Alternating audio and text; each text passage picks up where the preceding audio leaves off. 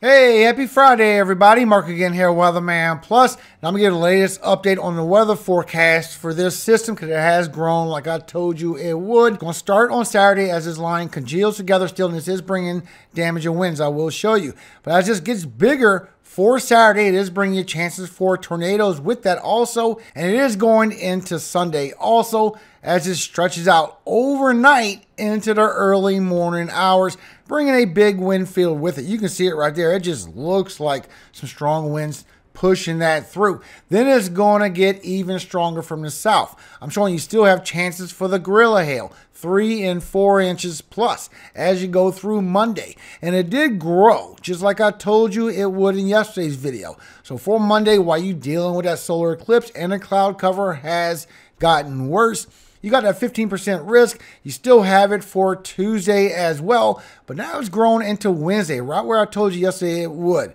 For Louisiana, for Mississippi, southern Arkansas, even going into Alabama, we might even see a threat for Thursday. It'd be a little bit more downgraded but we may see it.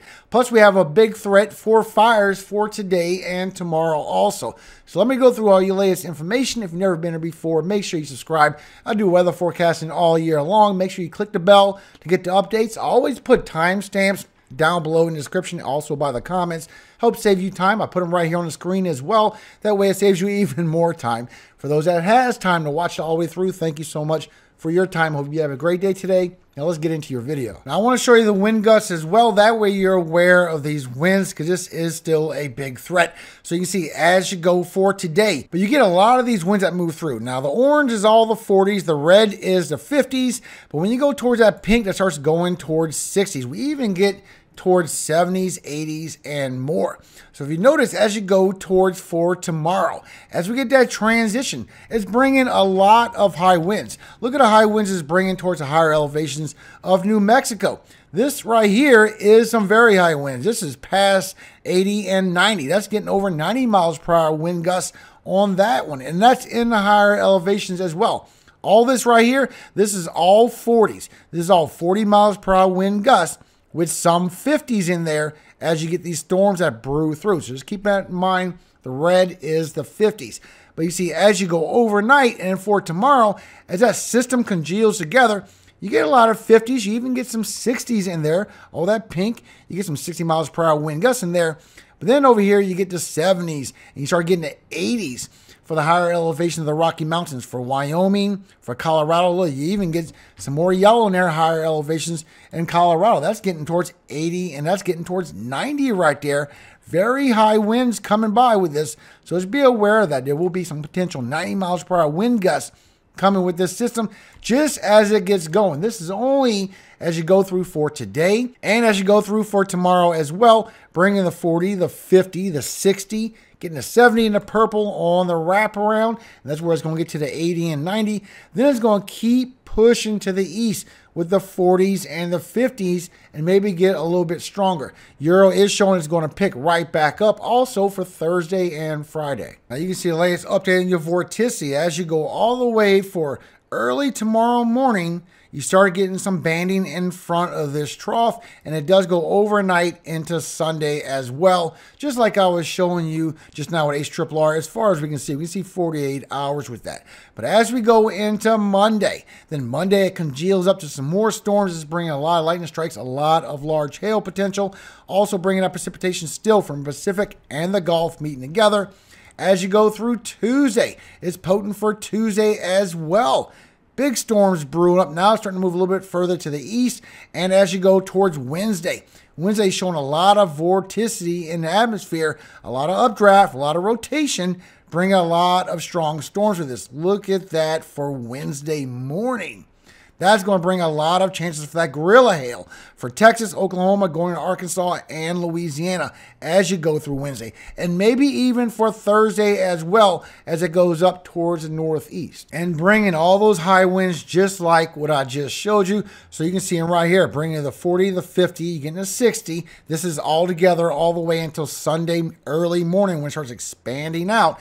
And you see where you have the 70s to 80s. You even still get those 90s just like I was showing you, the higher elevations But look at the 40s and the 50s start pushing out, even getting into some of the 60s in the red as this just bands out towards the east. So you can see with your relative humidity that you get a lot of low humidity, not only for North Dakota, also for Wyoming, a little bit of Montana as well, but Colorado, New Mexico, Texas, with all those winds and low humidity, a good chance to spark up a fire. This is for today. For tomorrow, you're going to have the same issue as that pushes through bringing in a low humidity. So not a lot of precipitation in the atmosphere. A lot of this heat and all these winds kicking in could easily spark up a fire. Be careful. So for today, you can see you do have your elevated risk in all the orange, but your critical is right here in the red. So here's your cities and states at risk for the biggest chance for fires for today. And you can see tomorrow for Saturday, it does grow in the south. The elevated in orange, but the critical in the red.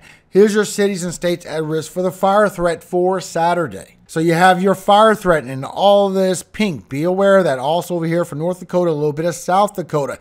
You have avalanche warnings in California and all this light blue. Plus you have winter weather advisories in the purple, high wind warning in all this dark brown, just like the winds I was showing you. Now you do have the freeze warning and the frost advisory moving through. Remember those temperatures I showed you? It is going to be passing through. Then we're going to be going on a warm up. So here's your cities at risk for the severe threat for tomorrow. And we do have our chances for tornadoes. Like I showed you, we have that 2%. Here's your cities and states at risk. Now we also have that wind threat. Remember those winds I did show you. So here's your cities and states at risk for the damage and winds for Saturday. Very strong winds. And your hail threat in the same areas. National Weather Service says thunderstorms with isolated large hail and severe gusts will be possible across parts of the central and southern plains Saturday afternoon and evening. Remember, this is going overnight into Sunday. And for Sunday, here's your cities and states at risk for your severe weather risk. Remember, this is overnight and early in the morning. National Weather Service has for Sunday strong thunderstorms with marginally severe wind gusts will be possible on Sunday from the lower to mid Mississippi Valley eastward into western parts of the Ohio and Tennessee valleys. Hail could also occur in parts of the mid Mississippi Valley. And my next update will be on Sunday after Sabbath. Now you see your dew points for tomorrow. We do get some high 50s and very low, right on the edge of 60 over here for Nebraska and a little bit for Kansas. Also for Oklahoma, it builds into northern Texas as you go through for tomorrow before it pushes further to the south. As you go late in the evening, it strengthens as it goes through Oklahoma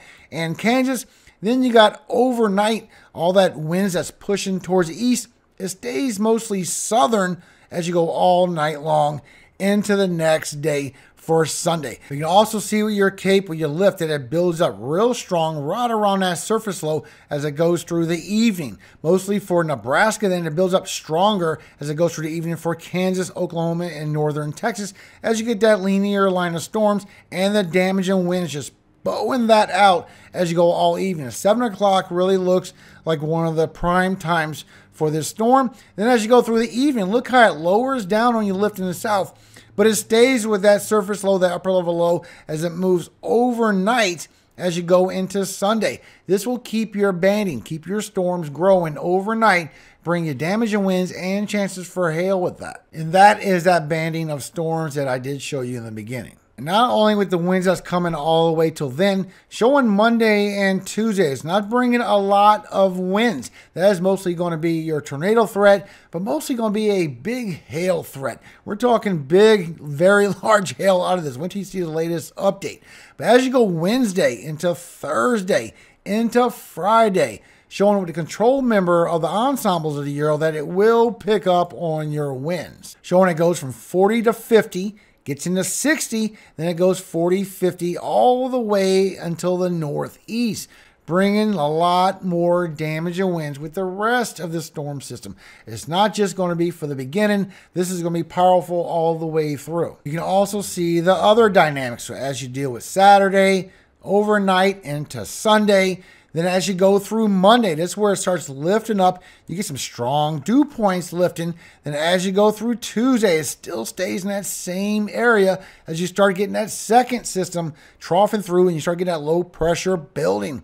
And as you go through Tuesday and Wednesday, showing that is going to be one of the strongest days of the severe weather. And as it goes up for Thursday, also for Friday showing it will linger all the way towards Friday. And you can see this on your lifts as we carry on from Saturday and Sunday on that first storm system as we go into Monday. Your cape, your lift, your food for these thunderstorms to grow really grows as you go from Monday and on, showing a lot of strong lift. So as you go through Monday, you get a lot of strong lift for these thunderstorms to really start growing, but you get a lot of heat in the south central. This is where it really gets hot for Texas. And as you go through Tuesday, your instability gets stronger. You're going to see stronger storms forming, and it's not going to stop there. As you go from Tuesday into Wednesday, look at that. Now you're really getting a lot of joules. Now you're getting over 4,000, almost 5,000 joules in the atmosphere. This is going to create a lot of lift. This is going to create chances for gorilla hail. Three and four inch plus. Be aware of that. Look, showing over 5,000 as you go for Wednesday and moves over, bringing all that instability with it. And you can also see as it keeps going, it goes also up on the northern side a little bit. As you go into Thursday, it stretches up a little bit further towards the Great Lakes, towards Ohio Valley and as you go towards Friday. a little bit weaker, but we got enough instability in Northeast for some possible thunderstorms, as well as what's showing for Thursday. So I think this also could be upgraded. It would be a little bit less of an event, but still something's coming through. I think we got more updates coming. Monday starts raising up, getting you a lot of lightning strikes. Then as you go through Monday afternoon, a lot of lightning strikes, not only for Texas, going to Louisiana. Look how this grows for Monday. Look at this. A lot of lightning strikes, large hail for Texas, Louisiana, and it keeps growing. Now you're going overnight for Tuesday. Look at that big line of storms with all those lightning strikes. That's all going to be chances for a lot of large hail. You're going to see storm chases all down here, especially on Tuesday and Wednesday. Look at that, right over the DFW. Over 8,000 lightning strikes just in this shot as you go through Tuesday evening. More thunderstorms, lightning coming through it. As you go later in the evening, still sticking around by the DFW, very large hail. Watch out for your cars with this and your pets. Bring your pets inside. This will hurt your pets. Large hail falling down. As you go overnight, now you're getting that strong convection pulling up. And look at all the light strikes coming from Mexico into Texas, northern Louisiana also. Look at that line of storms. That is going to be amazing.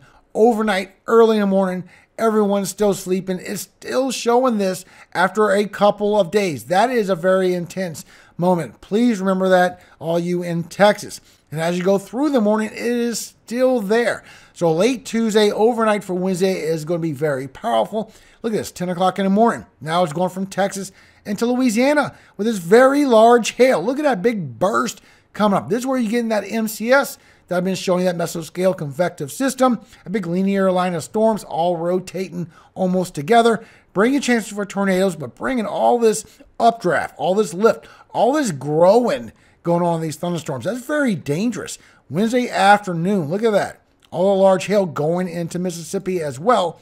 Look at that. Wednesday night, still moving through overnight for Thursday. And this is where it goes more for Thursday. Look how it goes all the way up towards the Great Lakes. Get a little bit on the southern side. This don't look like a lot, but this is going to be that tail whip of this system going north. And that's where you get a lot of these water spouts pulling off the Gulf and bringing them right towards Florida, right towards Georgia for Thursday. Look at that. I think that could be upgraded as well. And Friday. A lot of storms bringing a lot of chances for hail in the least. So here's your latest updates. So as you go through Monday, you still got your 15%. So far, here's your cities and states at risk. And as you go through Tuesday, it's going to move a little bit further to the south towards Houston and more into Louisiana. But here's your cities and states at risk. But you see all they have is Texas. But you can see it does have Louisiana. It's got some of Arkansas in it. And as you go into Wednesday, here it is growing into Arkansas, Mississippi, and Alabama. So here's the cities they have at risk so far. This, I have very much confidence this will be upgraded for Wednesday. And let's not forget the storms that it's bringing. So all the way to Wednesday, it is bringing a lot of heavy rainfall. But look at this. Now it's showing just for the next five and six days, building up anywhere from two to four, still have it over 10 inches for northeastern Texas, northern Louisiana, southern Arkansas, going to Mississippi. A big hot spot, bringing a lot of chances for flooding. And as you go from Wednesday and Thursday, look how it just bursts up with all this heavy rainfall and into Friday goes right towards the northeast. Bring a lot of heavy rainfall with that as well. Just be aware we are talking about some good flooding, not just for the Great Lakes, also in the south. Look at all that heavy rainfall coming. So, so far, you do have a risk for flash flooding for Monday. You do have the marginal and all this green, but you have just slight risk right here for Texas, northern Louisiana, and Arkansas going into Mississippi. And this is going to grow for Tuesday. As you go through Tuesday, you have the marginal all the way from Texas all the way into Tennessee and Kentucky, southern Missouri as well. But look at the big slight risk that has grown now as we go through Tuesday. This is going to grow more. This is going to be more intense flooding. I think we'll see a moderate level next. Now, some big updates for you, real quick. You see your cloud cover update. It don't come out till a little later, but I have the latest run for you now. As you go into early on Monday, and as you go towards noontime, because you have it all the way from noon till 2, that you need the best chance for clouds. And look at this. It's all going to get covered so far right in the path. Plus another update, I did put it on my community tab a couple of days ago, what's going on with our hurricane season. And you see that we're going, as we go from June, July, August, September, October, we're going to a strong La Nina. That's going to be less wind shear, way above average temperatures, and nothing really stopping these storms from growing for our hurricane season. It is going to be intense. Matter of fact, you can see the latest update from College State University. This is what I posted on my community tab. Link in the description also, so you can go read everything that they're talking about. This is their biggest hurricane forecast that they ever have put out. Normal, on average, would have 13 to 14 named storms. They put us all the way to 23. Matter of fact, their average went all the way to 27, and they just averaged it at 23. And going to above average La Nina pattern, very strong pattern, I think it's more like 25, maybe a little more. We're going to run into a lot. Plus, you can see also the days have expanded 115 named storm days. Plus, our hurricane days are 45 now, so that has grown. Also, expecting five major hurricanes. You can read all this, link in the description. Make sure you do click on the like button. Now, that has been your weather forecast. I hope this has helped you. If it has, consider leaving a like or share this to another family. Help others find out what's going on. The best thing you can practice is safety. So, thank you again for helping out. I appreciate every single one of you.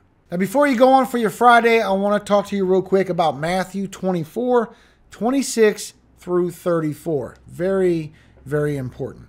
Wherefore, if they shall say unto you, Behold, he is in the desert, go not forth. Behold, he is in the secret chambers, believe it not. For as the lightning cometh out of the east, and shineth even unto the west, so shall also the coming of the Son of Man be. For wheresoever the carcass is, there will the eagles be gathered together.